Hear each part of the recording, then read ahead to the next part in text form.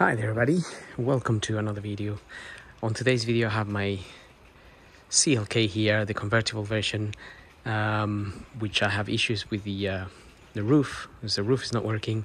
And uh, some time ago I made a video on how you can open the roof uh, manually. Um, but I did forget to mention something on that video, so I'm hoping to cover that on, on today's video. So I'm just remaking the video but with the extra step that I didn't do back then. Um, but one thing is because my roof, the particular problem I have with my roof is that when it's shut, um, the car thinks that it's still open. As a result, I can't unlock, I can't open the boot. So the car unlocks, but I can't open the boot. So you need, uh, you will need your key uh, to open it. However, uh, if you left, so you can, this is the key you can remove that key from your actual fob um, and put it in there. But because I left it for quite a long time it's hard to put it in there and also it's not turning. So I just uh, sprayed a lot of uh, this stuff in there in order to get it going.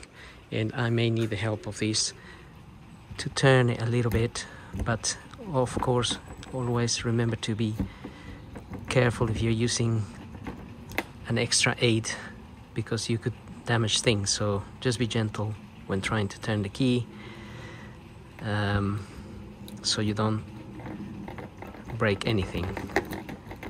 That would be the idea. So there we are. Okay now it's beginning to turn. So once it's turned you can actually push that in and it will release the boot. So let's get this out.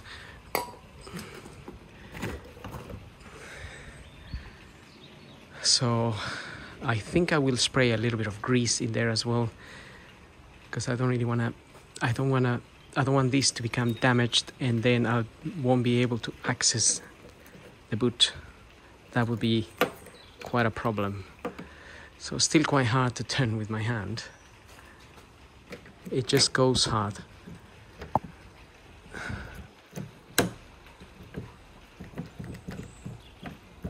So we re really need to spray it with, uh, with the stuff. Let me spray some actually. Okay, so in order to manually open your sunroof, you're gonna need one of these keys. You can get this from Mercedes and that you're also going to need a flathead screwdriver. So um, provided you manage to get into the boot, so provided you get uh, into your boot, if you go inside here, you have this cover. Obviously this is the cover you need to pull um, in order to operate your, your roof.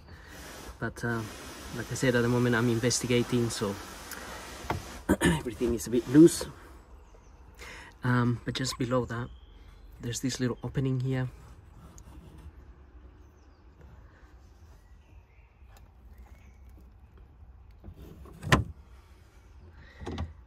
And that's where you need to get your flathead screwdriver. And you will see it gets it's like a like a screw in there which we need to release the pressure. So now I'm just undoing the screw releasing the roof pressure pressure up to a point where it stops.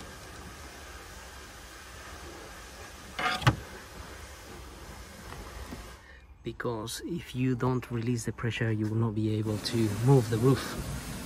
Uh, it will be very hard. I mean you might be able to open it because last time I was able to open it but you won't be able to close it. So with that done we can then take our tools. Gonna close the boot but not fully.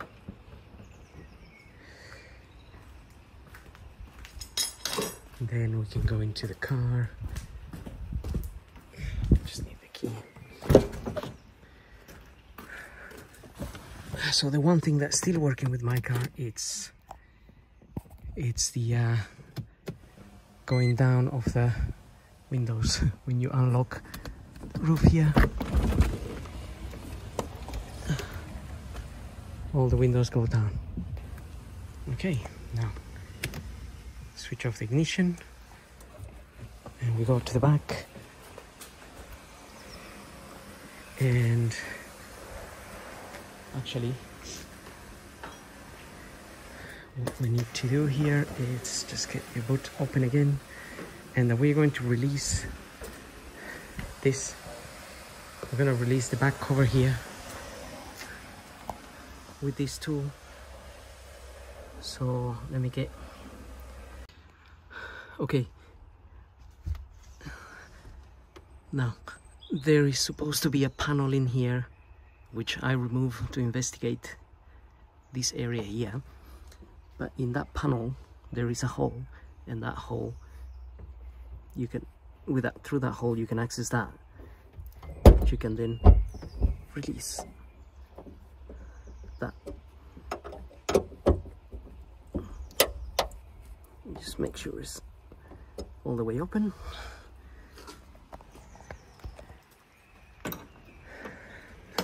close this again.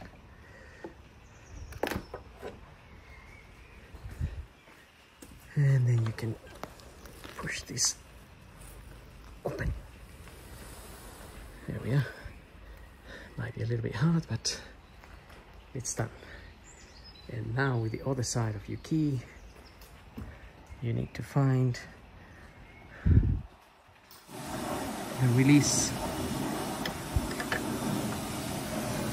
it uh, is somewhere here.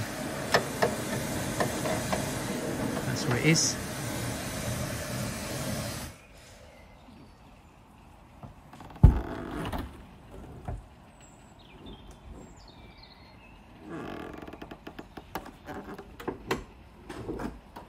There we are.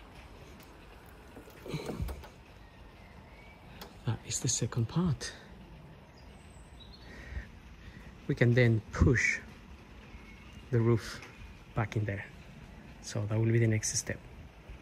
So before I do that uh, for the video I'm just going to remove this uh, cover here. I'll do that on my own just a few clips here because the next I've already checked that system there. Now I want to check this one. Um, make sure the uh, micro switch is working. So don't forget to remove that and don't leave it somewhere there because if you put the you might lose it somewhere. Um, anyway so we'll come back when I push the roof back. Okay so then you push this part down and uh, come here lift the roof up and push it down. And it should go down by itself just one thing to remember it's pretty hard to pull this up by yourself so you may want some help. But anyway you push that down and you can then bring this down. And you have a convertible car so obviously you have to push this all the way down and uh, you need to lock it into into place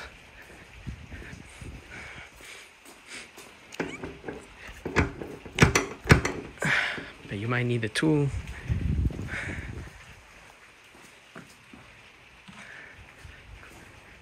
and like I said it can be a little bit hard so I'm just gonna get to the back here.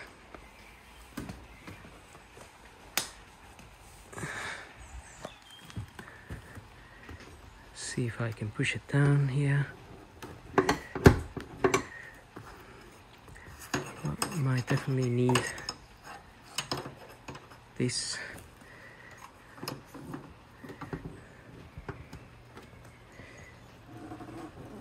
To lock it in place. There we are. That's it. Nice and locked. So we have a convertible car. Lovely. And now to put it up again. Again you need to find the little kind of bolt there. Lift that up. So yes there's supposed to be a cover here which I remove. And then once that is up you can then pull the roof up here. So it could be hard a little bit hard to do it. But it is doable. And the other thing is um,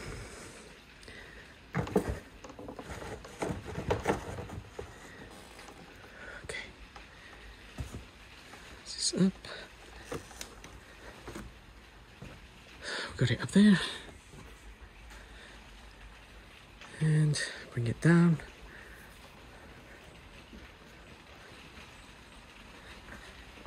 and push this bit. Up again.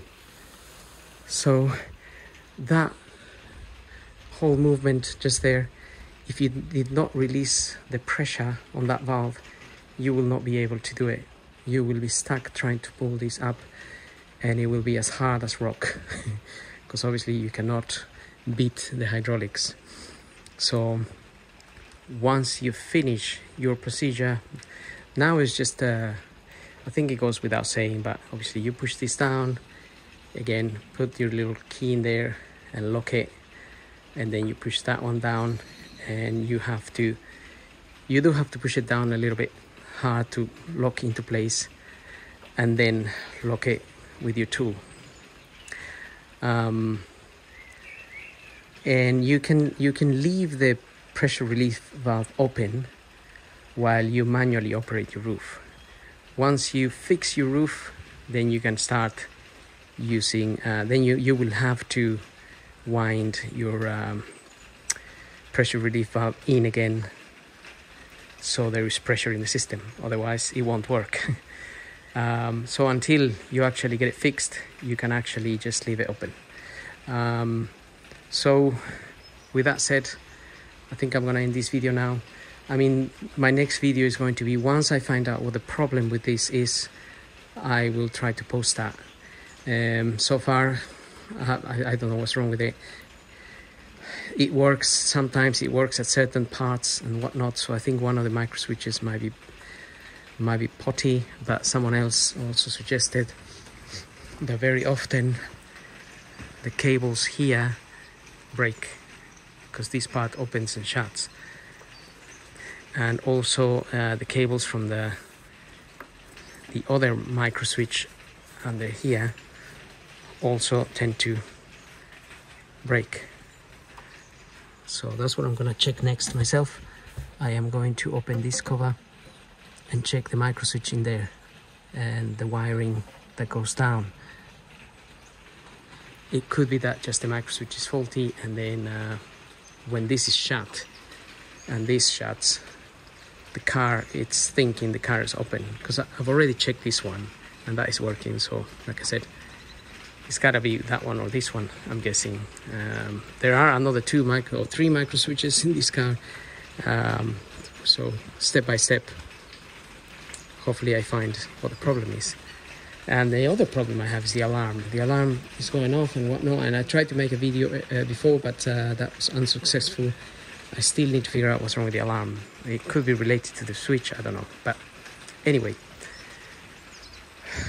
regarding the manually opening of the roof. I hope this video helps and um, we'll see you in the next video. So thank you for watching and don't forget to subscribe.